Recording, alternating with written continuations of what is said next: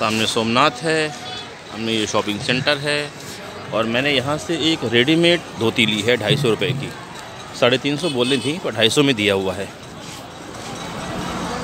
बस सीधे पैंट की तरह पहन लेना है। हो गए पंडित जी।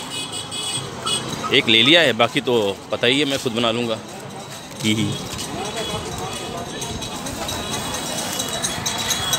अब मैं जाऊँगा बीच पे। यहाँ पे एक बीच है, वहाँ जाऊँगा। अभी बहुत टाइम है, फिर सात बजे सारा कैमरा वैमरा रख के, साधु महाराज बन के फिर जाऊँगा मैं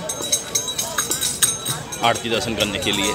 तब तक के लिए जय भोले।